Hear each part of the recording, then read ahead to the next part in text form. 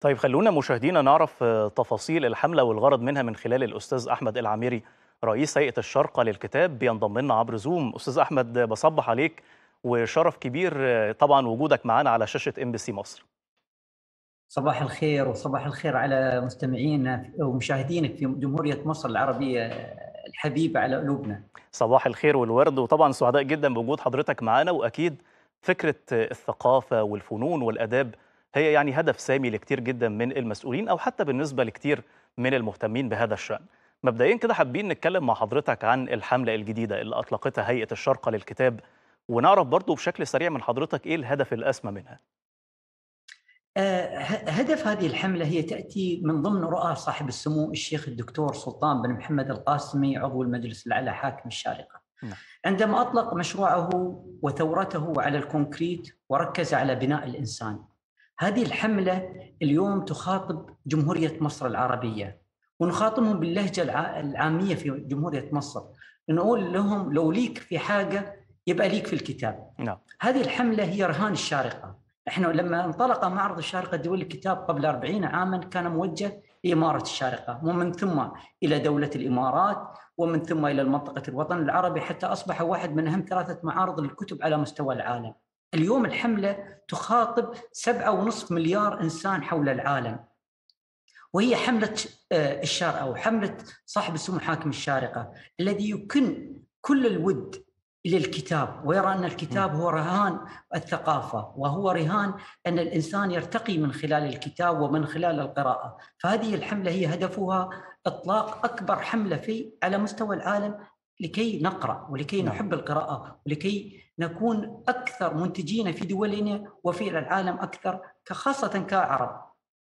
طيب أستاذ أحمد في ظل ال- ال social media إزاي بتشوف وضعية الكتاب ومدى الإقبال على الكتاب أو حتى على الوسيط التقليدي زي الكتب أو الدوريات أو المجلات أو ما شابه ذلك آه، هشام اليوم الكتب هي جزء لا يتجزأ من الإنسان إن كان كتابا رقميا أو كان كتابا صوتيا أو كان أي نوع من آه، نوعية القراءة. اليوم نحن نجد أن القراءة أصبحت جزء لا يتجزا. كثيرين منا يقولون ليس لدينا وقت نقرا لكن الكتاب لا زال هناك. يعني هشام خلينا أعطيك مثال بسيط. أنت تحب نادي الأهلي.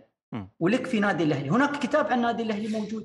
إذا كنت تحب الزمالك هناك كتاب عن الزمالك. إذا كنت تحب الرياضة هناك كتب عن الرياضة. هناك كتب كثيرة ومتنوعة موجودة الآن في العالم العربي أو في العالم ككل تختص بالقراءة. والذين يقولون ليس لدينا وقت هناك كتاب هناك كتاب في كل وقت في كل زمان لكل إنسان.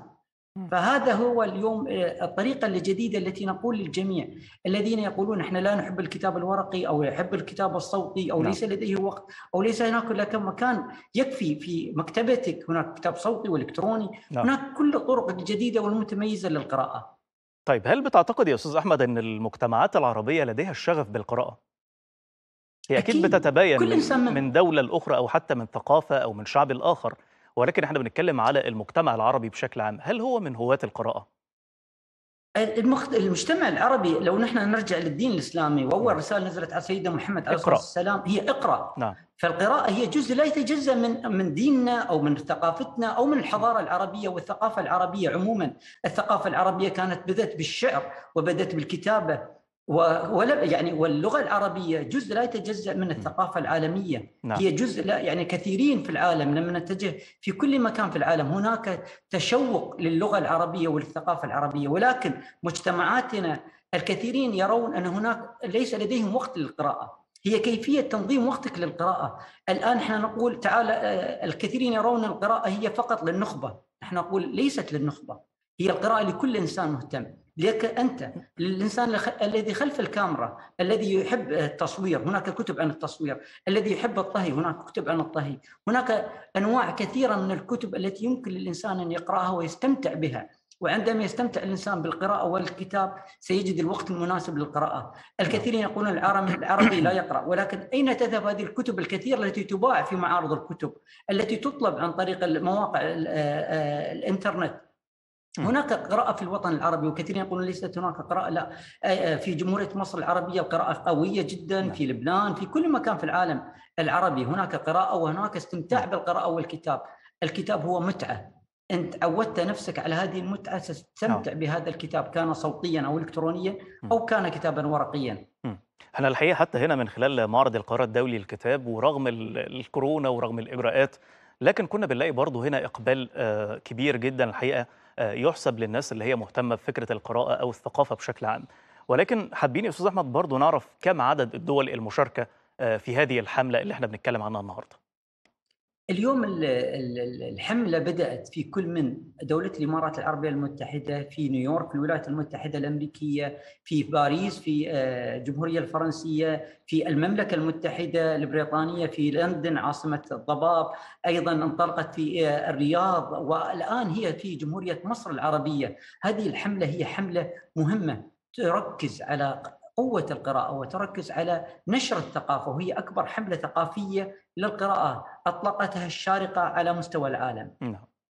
طيب نحب نعرف من حضرتك برضو الرسالة اللي أرادت الهيئة أن هي توجهها للعالم من خلال هذه الحملة. أكيد هناك عناوين أو هناك أهداف معينة حضراتكم حبيتوا توصلوها للعالم كله من خلال حملتكم المحترمة دي المبنية على الثقافة بشكل كبير وتصحيح المفاهيم.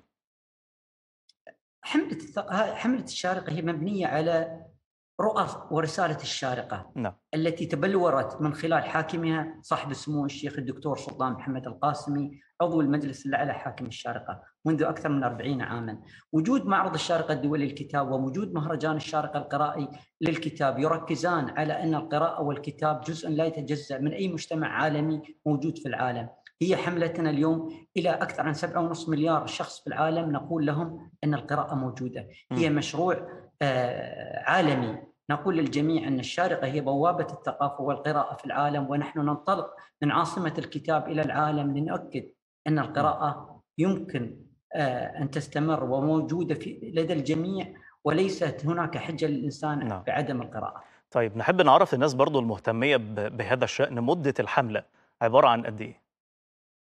طبعا مدة الحملة تستمر أكثر عن بين ثلاث إلى خمس سنوات لكي تصل إلى النضوج الكامل م. نحن هناك خطوات مقبلة سترونها وهي مستمرة يا أستاذ أحمد خلال هذه الفترة من ثلاث لخمس سنوات وتتمتع بالاستمرارية؟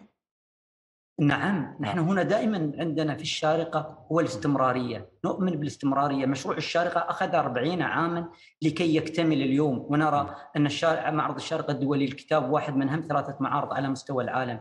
نحن نستمر بهذه الحملة لمدة أكثر من خمس سنوات لنؤكد للعالم ككل أن الشارقة هي عاصمة الثقافة والكتاب على مستوى العالم. ونؤكد أن القراءة ليست مشروع وقتي أو زمني في الشارقة وإنما هو رهان مستمر وأن الأمة العربية تقرأ ونجعل من قراءة الكتب فعلا يوميا في كل مكان في العالم إن شاء الله. طيب نحب نعرف برضو من حضرتك انعكاس هذه الحملة. إزاي ممكن يكون لها الأثر البالغ على المشروع الثقافي اللي بتقوده إمارة الشرق؟ على ذكر بقى أن حضرتك ذكرت أن إحنا بنتكلم على مشروع كبير بقاله 40 سنة. طبعا إحنا كل ما وجدنا إن العالم بدأ يقرأ ويستمتع بالقراءة والكتاب نجد أن هذا العالم يستمتع من أيضا من الشارقة، الشارقة اليوم هناك مدينة الشارقة للنشر، وجود معرض الشارقة الدولي للكتاب، وجود مهرجان الشارقة القرائي، وجود بيت الحكمة في الشارقة، وجود عدد كثير من الفعاليات الثقافية المهمة التي تركز في تطوير الكتاب ونشر الكتاب وثقافة الكتاب في كل مكان العالم. اليوم نحن نؤكد من خلال هذه الحملة أن الشارقة هي بوابه الالتقاء بين الشرق والغرب من خلال الشارقة. نعم. هذه البوابة التي نعتبرها لها أهمية كبيرة والوصول إلى الكتاب سيكون دائما من خلال الشارقة إلى كل مكان في العالم ومن من كل مكان في العالم إلى الشارقة أيضا. يا رب كل الأمنيات بالتوفيق وسعدنا جدا جدا بوجودك معنا أستاذ أحمد العامري رئيس هيئة الشارقه للكتاب بشكرك ألف شكر.